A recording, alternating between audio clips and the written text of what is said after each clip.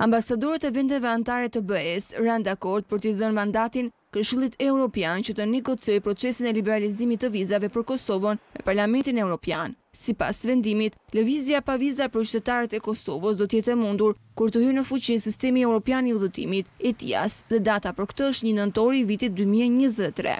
Por në rrasë do të këtë vonesa për këtë sistem, Liberalizimi vizave për Kosovën do të hynë në fuqi jo më vonë se më një janari viti 2024. Sot në kemi marrë një hap të rëndësishëm për Kosovën drejt lëvizje së lirë pa viza dhe shpresojmë të arim një marveshë me Parlamentin Europian për të bërë këtë premtim një realitet. Liberalizimi vizave është bëri mundur falë përpjekjeve të Kosovës për të forcuar kontrolin kufitar, për të menagjuar migrimin dhe besojmë se këj bashkëpunimi mirë vetëm sa do të përforcojt në të artmen. U shprej ministri jashtëm qek, vendit të cilit mban presidenzen e blokut europian dhe ka përpiluar tekstin e vendimit që është miratuar nga ambasadorët e bëjes. Si pas vendimit, liberalizimi vizave do të vlej vetëm për mbarcit e pasaportave biometrike në përputhje me standartet dërkomtare të uthtimit.